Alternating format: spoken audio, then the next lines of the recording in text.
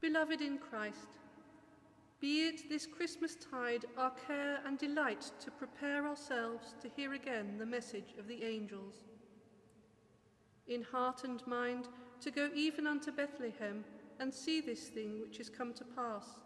and the babe lying in a manger.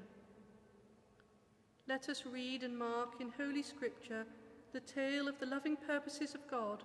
from the first days of our disobedience unto the glorious redemption brought us by this Holy Child.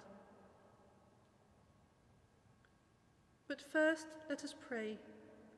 for the needs of his whole world, for peace and goodwill over all the earth, for unity and brotherhood within the church he came to build. And let us at this time remember in his name the poor and the helpless, the cold, the hungry and the oppressed, the sick in body and in mind, and them that mourn,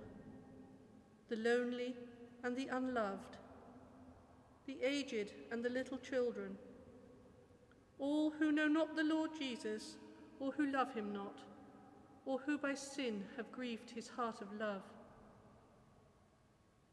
Lastly, let us remember before God all those who rejoice with us, but upon another shore and in a greater light, that multitude which no man can number, whose hope was in the Word made flesh, and with whom in this Lord Jesus we forevermore are one.